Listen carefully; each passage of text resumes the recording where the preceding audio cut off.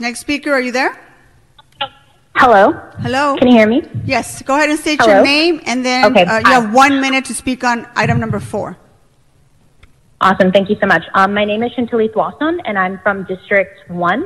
Um, before I was laid off, my company did not provide sick leave. I had to sit in a meeting where a coworker begged us to wash our hands properly because he had no sick days available. He had to come to work and he had a husband at home battling cancer. And if he got COVID-19, his husband could die. Just two days later, my office closed because someone in my office had COVID-19 symptoms and we're still waiting to get tested.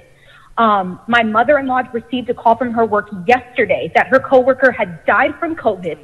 That coworker's husband is currently in the ICU right now, and her two children have just tested positive for the disease. People are dying. They died yesterday. They will die tomorrow, and you have the power now to save so many. And every day you delay, you're putting more lives at risk. You need to pass it today, and I would prefer you pass it as is.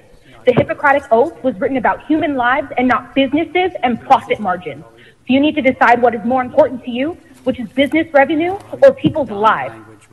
Thank you. Thank you. And thank you, Mar- um, Martinez, thank- for standing up for working people. We Thank you really very appreciate much. it.